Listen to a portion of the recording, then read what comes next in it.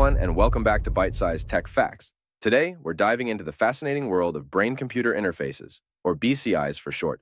Buckle up, because this technology is about to blow your mind.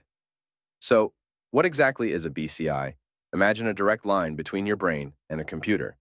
BCIs use sensors to pick up on electrical signals generated by your brain activity. These signals are then translated by a computer program, allowing you to control external devices with just your thoughts. There are two main types of BCIs non invasive and invasive. Non invasive BCIs, like headsets, use electrodes placed on your scalp to detect brain waves. Invasive BCIs involve implanting electrodes directly into the brain, offering a more precise signal but requiring surgery. All right, all right, enough with the science talk. Let's get to the cool stuff.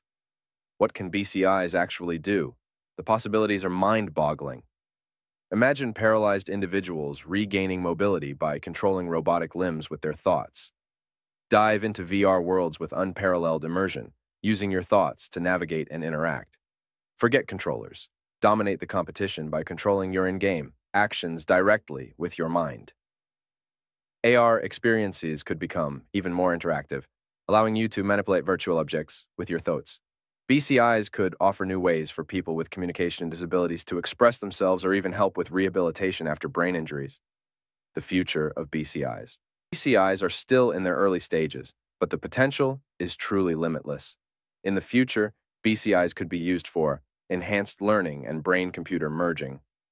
With all this amazing potential comes a responsibility to consider the ethical implications. Privacy concerns, potential misuse, and the digital divide are all important issues to address as BCI technology advances.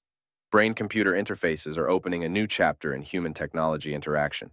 The future is full of mind blowing possibilities. What are your thoughts on BCIs? Would you ever try one? Let us know in the comments below.